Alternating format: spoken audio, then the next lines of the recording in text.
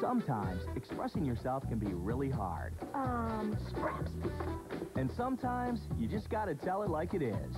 That's more cabbage. Does that make any sense at all?